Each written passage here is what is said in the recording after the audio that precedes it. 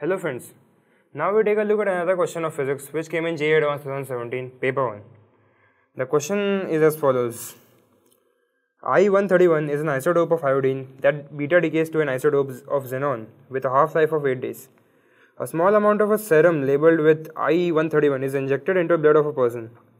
The activity of the amount of I-131 injected was 2.4 into 10 to 5 becquerel.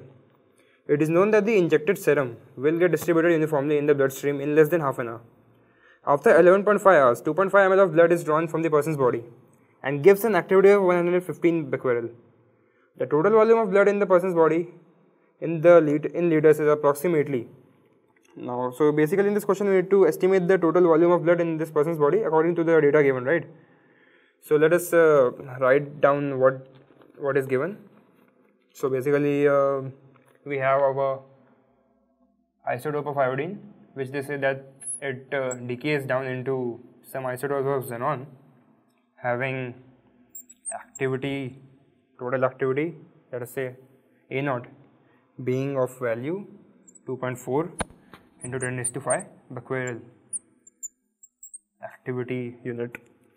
And uh, it its half life being 8 days basically and we have and it says that after 11 and a half hours after 11 and a half hours after this uh, sample after this serum is injected in human body after 11 and a half hours when we take out 2.5 ml of blood that sample gives an activity of 115 becquerel. So we need to find out uh, we need to basically estimate the volume of human volume of the blood of human body. So now using the decay formula, we can say that 0.691 upon t half into time is equals to ln natural log a naught and activity at any time t. So we have a naught which is the activity original activity which was undiluted basically. Substituting these values, we have A naught being uh, 2.4 into 10 raised to 5 and activity at any time t. Now, basically we are interested in finding activity at 11, 11 and a half hours, right? So, we'll put in 11 and a half hours in this in here 11 and a half hours. And we know the t half of xenon which is 8 days. 8 days is basically 8 into 20, uh, 24 hours. Hours hours get cancelled. Now simplifying it after simplifying it we get uh,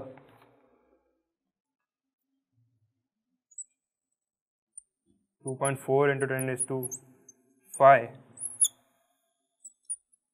upon 80 e power 0.41 this is basically the value of this. Now there is a property of exponential function. If for e power x you can approximately write approximate it as 1 plus x for x very very less than 1 so here we see that uh, this 0.041 is very very less than 1 so we can approximate it to 1.041 right? So we have uh, activity at that time which is 11.5 hours being uh, 2.4 into 10 is to 5 upon 1.041 becquerel Simplifying this we get uh, 2.3 into 10 raised to 5 becquerel. Now this uh, activity is for basically the whole human body's blood, right? But we only take the sample of uh, about 2.5 ml and measure the activity. So we can use unitary method to calculate the total volume. Let us say that the total volume of human blood BV in V we have this activity A at T which is 2.3 into 10 is to 5 becquerel and for uh, volume 2.5 ml we have activity which is which was given to us 115 becquerel now simply